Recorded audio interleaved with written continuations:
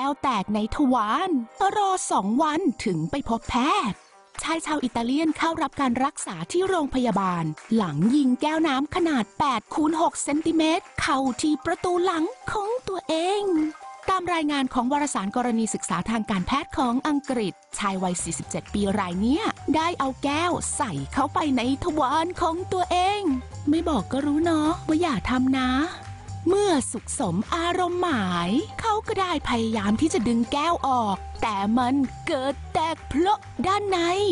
เขาได้รอเป็นเวลาสองวันก่อนที่จะไปพบแพทย์ ซึ่งได้ฉายเอ็กซเรย์แล้วก็พบว่ามีแก้วติดอยู่ลึก ภายในทวารหนักของเขา พทย์ได้ใช้เครื่องมือสอดเข้าไปในทวารหนัก หลังจากเขาถูกวางยาสลบ จากนั้นก็ได้ใช้ครีมคีบเอาเศษแก้วออกมา ชายคนนี้ต้องใช้เวลารักษาราวสามเดือนกว่าจะหายดี เขาเคยมีประวัติเสพติดโคเคนด้วย ก็ยังดีเนาะที่หายได้